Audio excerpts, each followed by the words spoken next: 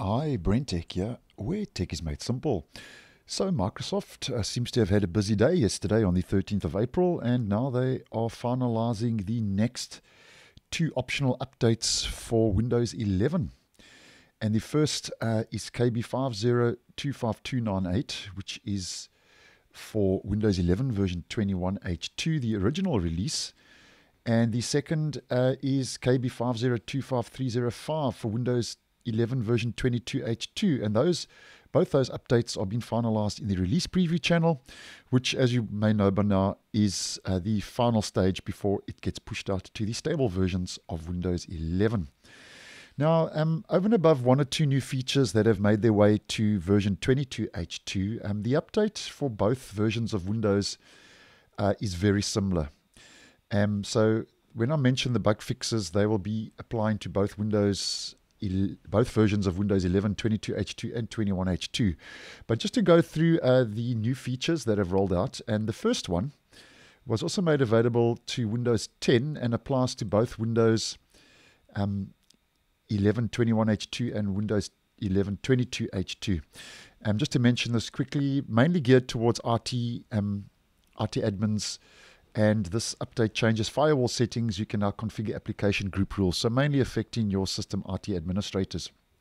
And then moving on to the two new features that have made their way uh, out to Windows 11 22H2. Now, the first currently is actually uh, being tested in the Insider program. I actually mentioned this briefly for the beta channel uh, builds that are posted on earlier today.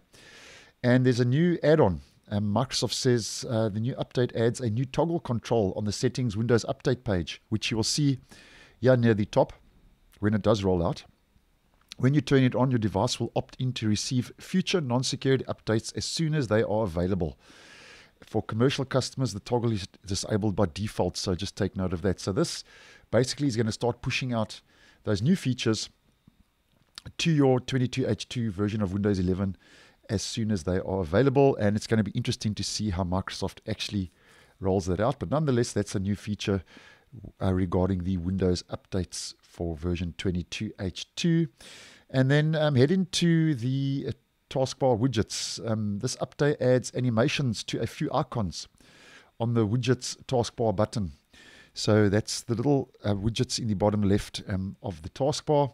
And these animations turn on when, according to Microsoft, a new announcement appears on the widget's taskbar button and when you hover or click the widget's taskbar button. So those are some new animations that we can expect roll out to the widget's taskbar button.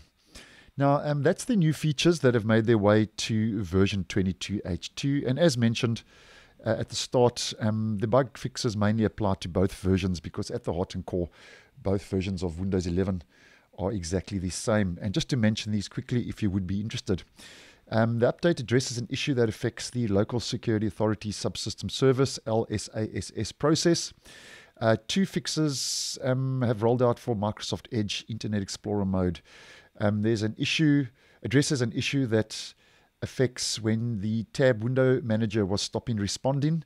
That's been fixed and also um, addresses an issue where the pop-up windows were opening in the background instead of in the foreground. So that also rolled out. Those fixes also rolled out to Windows 10. So obviously that's an issue across the board regarding Internet Explorer mode and Microsoft Edge.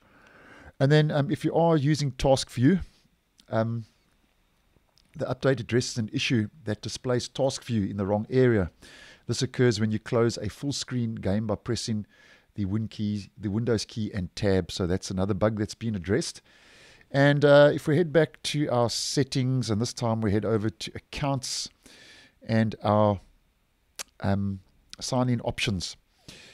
Now, um, the update addresses an issue that occurs when you use a PIN to sign in to Windows Hello for Business, and that also rolled out for Windows 10 uh, in the release preview channel. And then the last one, just to mention for this video, the update addresses an issue that affects the resilient file system, REFS for short. A stop error occurred that stopped the OS from starting up correctly. And a stop error is basically a blue screen of death, so that's an important fix. And over and above those so called key highlights when it comes to new features and bug fixes, there are numerous other fixes that have rolled out for both versions of Windows 11. And obviously, that's because uh, these updates that are rolling out are optional bug fix updates.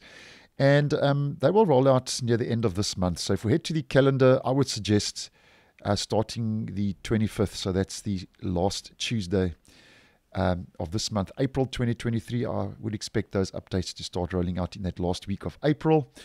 And currently, Windows 11 version 22H2, the OS build is 2261.1555. And if you do decide to install the update, that will be bumped up to 2261.1631 or somewhere in that point release vicinity. And for Windows 11, the original release, um, that will be 22,000.1879. So that will be the build for Windows 11 21H2. So that's more or less what we can expect to see in the next optional updates rolling out for Windows 11 shortly. So thanks for watching, and I will see you in the next one.